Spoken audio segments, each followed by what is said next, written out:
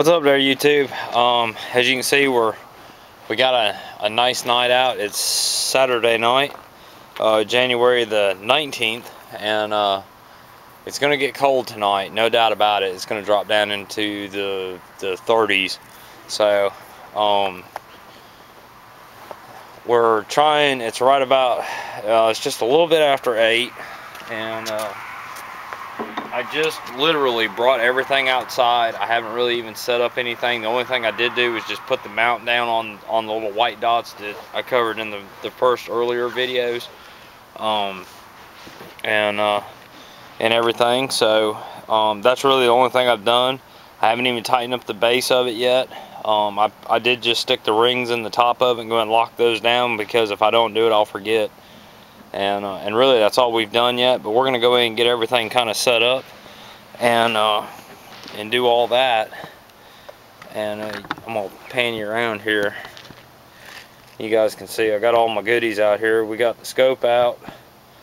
Uh, we got the bag of all the other stuff and we got the counterweight sitting over there so you can see it's just very um, just throw the stuff out here um, I'm thinking I'm gonna do probably a little time elapse video um, while I do the setup so you guys can kind of see um, you know what I do to, as far as getting the setup. This is kind of the first run I've done since I've really gotten all my stuff kind of together and I'm gonna do a little test of um, kind of a pre-run if you will on on getting everything set up. So um, I'm gonna stop the video I'm gonna redo the video and it's gonna be in time lapse so you can see me. And I am dressed to the to the hill here I've got on a jacket a sweatshirt a t-shirt uh, you know heavy cotton pants with sweatpants underneath two pairs of socks it's gonna get cold tonight I've got on my of course it wouldn't be the same the old uh, man cave astronomy without the the yellow uh, visor on, but I've got a ACDC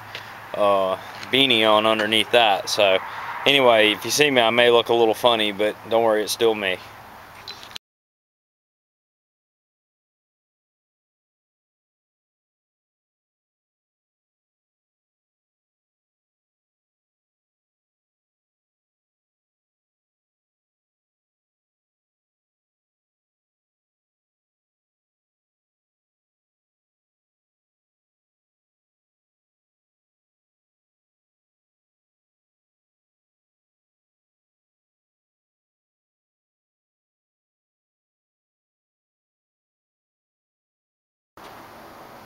Alright, as you can see we've got the scope all nice and set up and balanced and polar aligned. I just did a quick two-star easy alignment tonight. Um, and it was I was a little off on the North Star. It's been a while since I've done it. So uh, maybe I need to go back and watch my own videos. But uh, but anyway, you can see we got we got the scope set up and pointed. Um, went right to uh, um, Sirius and then we went to Caporal and uh, did the, the two-star alignment on those two. And um, and by the time I got all that done um, it's getting actually it's kind of starting to cloud over. Uh, one cool thing I did see was I seen a jet fly right through my uh, my polar finder while I was trying to align the Polaris. That was pretty freaky. But uh, I don't know if you guys can see that or not. But anyway there's the moon. Um, it's I got too much light out here um, to really get a to get a good shot, but it's starting to try to cloud up a little bit um, just because of the, the weather. Um, right now I'm pointed up at at Capella and you can't see anything in the sky. So anyway, um, I just figured I'd show y'all a little quick video on that. Um, so far everything's be doing pretty good. Um, I've got my uh, try to get where you can see it. There you go. Um, I've got my uh, my Baader 17 millimeter um, eyepiece in without the nose piece on it. So basically it's a 21.8 millimeter 2 inch eyepiece right now. Um, I took the nose piece off just to get the alignment done because it gives a nice wide field of view. Um, so now that I'm aligned I'm gonna start slewing around and checking some things out. And uh, and seeing what what some of it looks like before my my uh, corrector plate fogs up. So um, I'll be back with you here in just a minute. Let me just see if you can get a look through. Nope. A little glimpse. There you go. There's star. That's the star uh, Kappa. Capella, or however you pronounce it. C-A-P-L-L-E, I think. Anyway. That's what it looks like. Alright, be back with you here in just a moment. Alright, we're back here real quick. Uh, I just flew uh, from uh, Capella or whatever it is to uh, to Moon, and I swear y'all, I didn't do anything. And uh, you can see that's uh, you can see the hot the haze. Um, my corrector's probably already starting to uh, corrector's probably already starting to fog a little bit and my eyepiece probably some some of that is probably residual cloud. And I'm sorry if I'm blinding y'all. Um, there you go. But anyway um, she did she went right to uh, alright folks this right here is what it's all about. This is what we've been striving for running for going for. I have finally the rock has come to astronomy so to speak I'd like to whoop down on that Rudy Poo candy ass as far as taking pictures. Alright, as you see here, we've got the telescope set up. We've got our uh, Baader Hyperion eyepiece put in there. We are coupled up to the Sony Nexum 5R that we are streaming. Yes, that's right, with the Fotodiox coupler. It's a nice good picture of the moon you can see right there on the camera. And guess what? We are now wirelessly sending that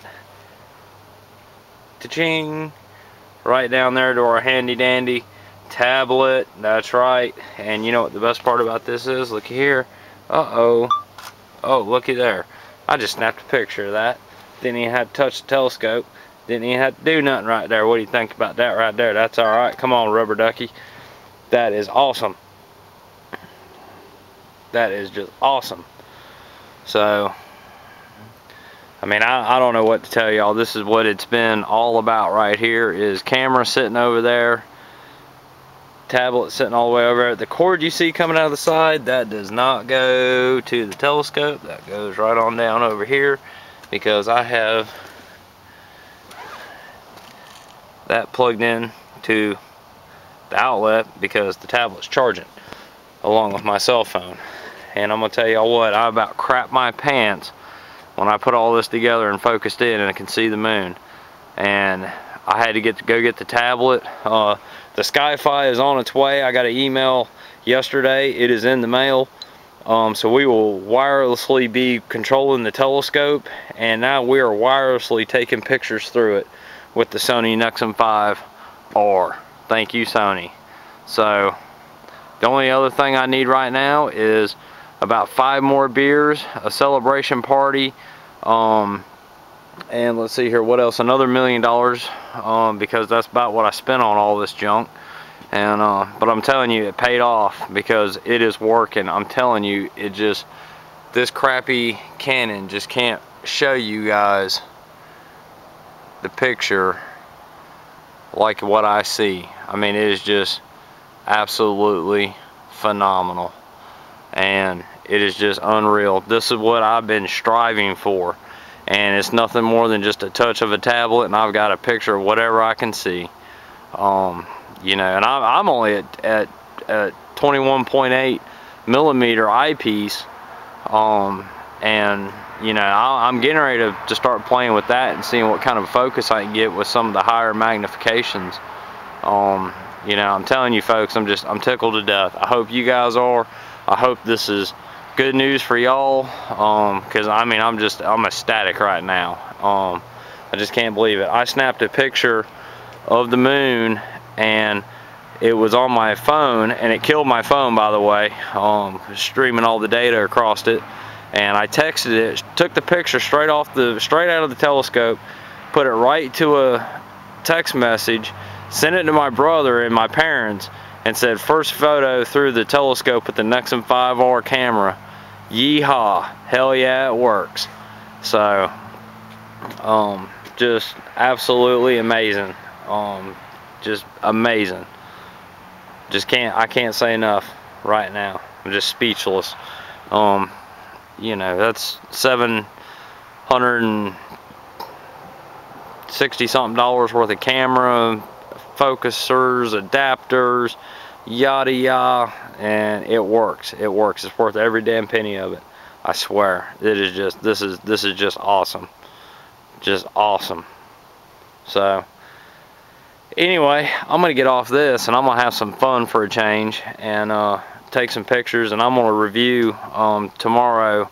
I'll do a little quick review on on some of the pictures that I got tonight. I'm gonna get off the moon and go swing around to some nebulas and some stars and just try to try to get all around check out of how everything does. Um, I'm sure the, the memory card or the battery in this little piece of crap Canon is getting ready to die. So, uh, so that's probably going to be it for me tonight. I'm going to be out here probably until the wee hours in the morning playing and piddling around. Um, so, this is Man Cave Astronomy signing off. Alright, just to give you all a recap, I packed everything in tonight. Um, still having a issue with the dew, of course. I've got a dew shield and I've got heater bands for the, the 2 inch eyepieces and everything else. I still do not have a dew controller, um, still on back order, um, which I was told that it was going to be in and um, along with the 8 millimeter uh, Baader Hyperion eyepiece, um, which I still haven't heard about. So I'm pretty much pissed and disgusted about that. But anyway, um, outside of that, I got that little whine and, and cry out of the way. Um, what did we learn tonight? The great thing is um, the scope performed absolutely spot on. Um, just just amazing. Um, nice, good, clear images. Um, focusing, you know, the image, of course, shifted around a lot while trying to to get the, the focuser in where I tighten up the focuser um, to um, take up a lot of the play and the slop in it. Um, but, you know, that's just kind of one of those things, damned if you do and damned if you don't.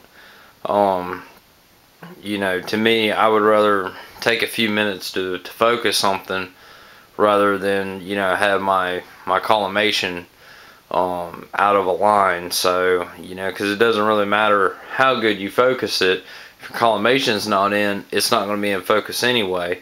So, you know, it's just kind of one of those deals. And, um, but still real happy with the, the results. Um, I did notice a, a pretty, pretty good difference in, in focusing, um, as far as having the collimation done.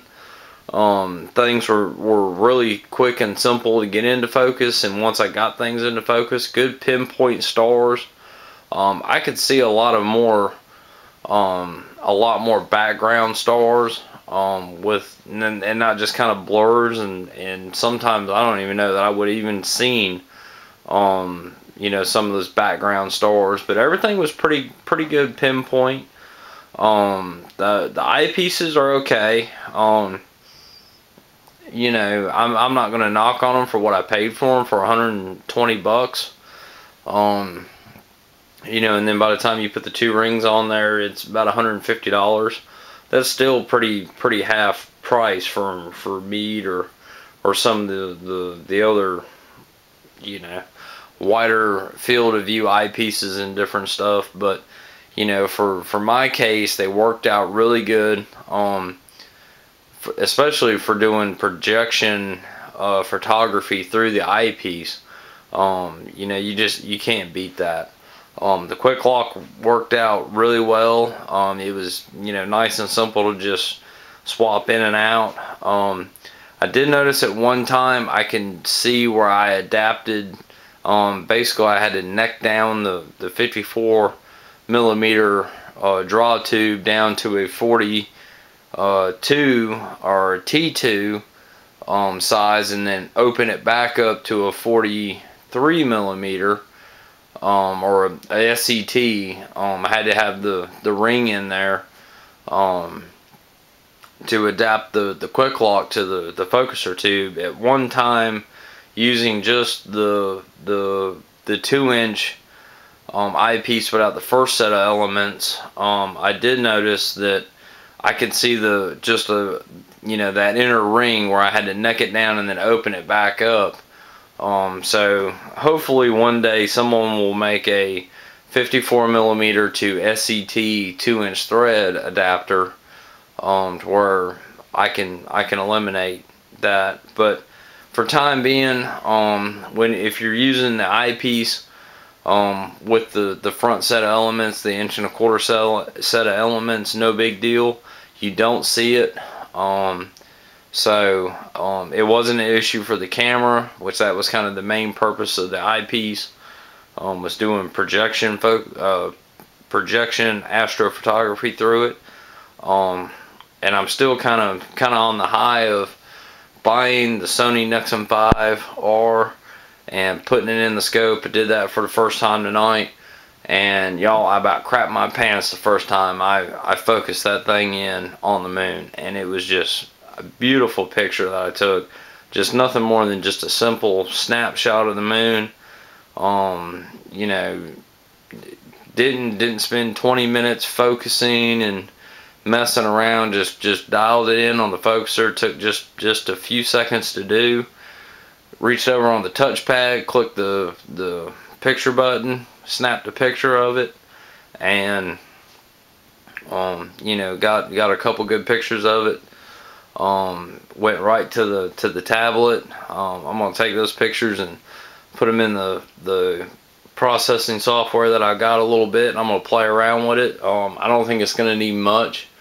Um, and then I was slewed to uh, to Jupiter and looked at Jupiter. I could see five moons um, through the camera with with Jupiter, and some of the video was was pretty, you know, pretty awful. I'll, I'll be right honest with you. It looks really bad.